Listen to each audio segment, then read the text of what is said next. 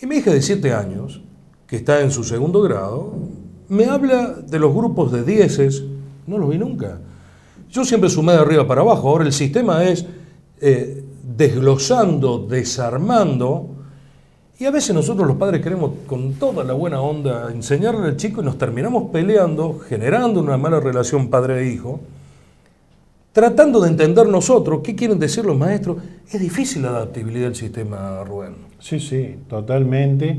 Eh, cada colegio eh, adopta eh, diferentes modos de, enseñar, por ejemplo, lo que vos acabas de decir, las operaciones fundamentales como, como, pueden ser la suma, la resta, la multiplicación y división, a diferencia de como nosotros lo hacíamos. En lo particular no le encuentro un sentido práctico como para desarrollar un poco más la inteligencia o despertar un poco. Eh, yo creo que son metodologías nuevas, pero que, o sea, son sistemas y metodologías nuevas, pero que no, no tienen un resultado tan, tan bueno. No, y yo te lo planteo porque te encontrás con la necesidad de que alguien te ayude. Entonces, oh, mira el señor que está en la televisión, que es el director, el de la casona, que hay, con el que hace el programa de televisión, mira qué bueno, lo escuchemos, vamos a visitarlo. Porque muchas veces sucede de que yo en casa no me alcanzan mis conocimientos y necesito ayuda. Claro. Esta ayuda la, la obtengo, primera pregunta, para solucionar el problema de mi hijo.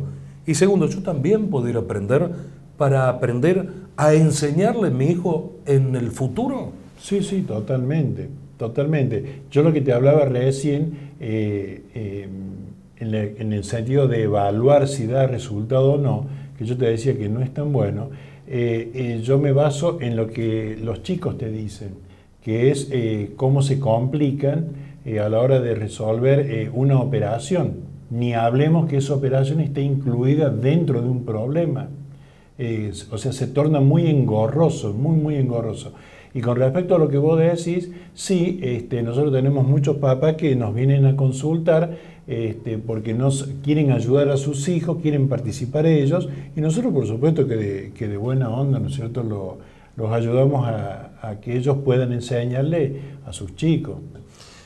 Me voy a ir a la pausa, eh, Rubén, eh, preguntándote otra, otra cuestión que tiene que ver con esta relación con los maestros y de los padres, y intentar que nuestro hijo siempre, hay cosas que yo no, estoy muy de acuerdo, dice que no le pase a mi hijo lo que me pasó a mí. A mí me pasaron muchas cosas y mi hijo ojalá que le sirva porque a mí me fue bien, no sé, a él, si pasa lo mismo que le va a pasar. Pero digo, lo veo en los grupos de WhatsApp de padres, eh, los errores de ortografía, y, entonces esos mismos padres que no saben si voy es con B larga eh, e Y o I latina o una H intermedia, ¿Cómo pueden ayudar en su casa a un chico que tiene que saber el pluscuamperfecto del verbo eh, no sé qué?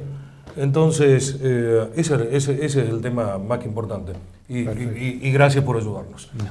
A la pausa, ya seguimos.